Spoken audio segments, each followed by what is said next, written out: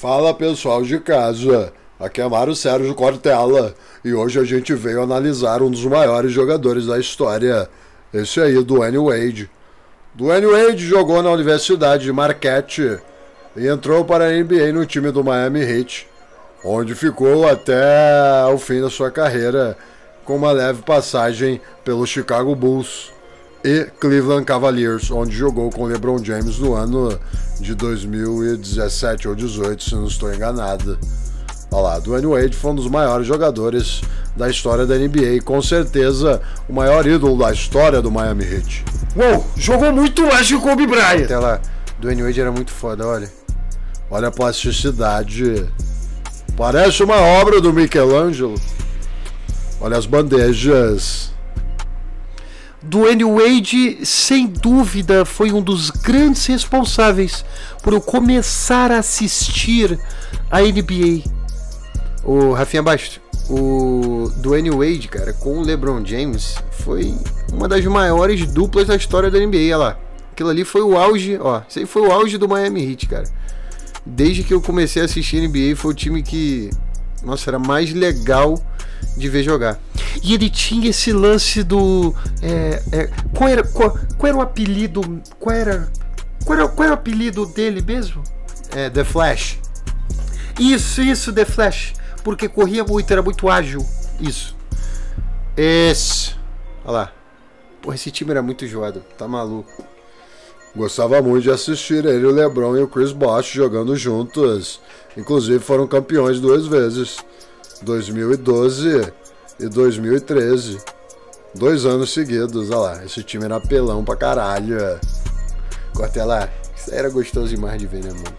Inclusive eles jogaram juntos no Rio de Janeiro em 2014. Só que na verdade o LeBron nesse jogo jogou pelo Cleveland. Nossa! Cara, era muito habilidoso ele. Muito habilidoso. Como jogava, né? Torcida do Miami vai sentir saudade dele para sempre, né? Concordo, Zé. O cara era muito foda. Twenty Waits era um fertateiro larápio. Olha lá! Ah! Ele potafa fogo no caparé. Pelo amor de Deus, né? Dwayne Wade era pica, meu irmão. Olha lá. Senti falta dele jogando em Portland com o Damian Lillard. Dwayne Wade nunca teve barba, né? Que engraçado. Nunca teve barba. Seu é párpado capeta, James Harden, possui uma bela pelúcia na face. Aí o Dwayne Wade tá machucado, hein? O Dwayne Wade tinha só um, uma espécie de. de barbicha, né?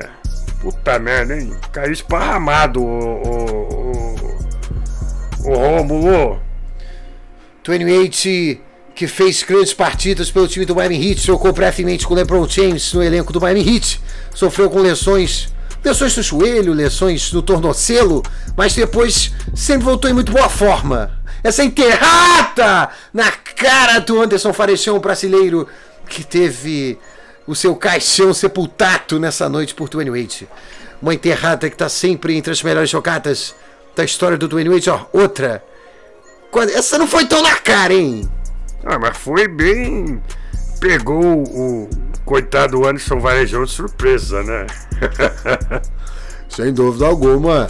Nunca se viu um armador com tanta atleticidade, capacidade atlética igual o do Wayne Wade. Perto dele, que eu me lembro agora, como armador, só consigo lembrar do. Shaq tô brincando. Só consigo lembrar talvez do Derrick Rose.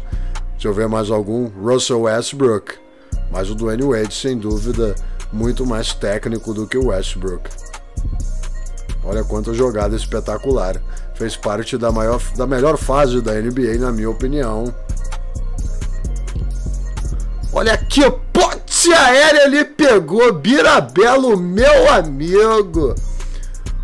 O Dwayne Wade era um jogador excepcional na história do Miami Heat. Marcou história, né, Beira? Marcou, vai, com certeza vai ter sua camisa aposentada. Se já não teve, você que gostou desse vídeo, já deixa o seu like.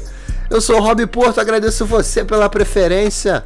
Te vejo no próximo episódio com mais um jogador da NBA. Deixa a sugestão de quem você quer ver aqui, Bira. Quem é? No quem é? Da semana que vem você vai escolher. Deixa aqui no comentário. Um grande abraço. Fiquem com Deus. Fé em Deus e nas crianças.